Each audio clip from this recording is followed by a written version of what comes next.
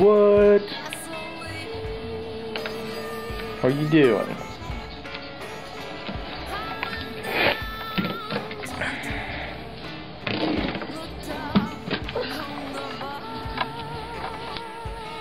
Two hands. Mm-hmm.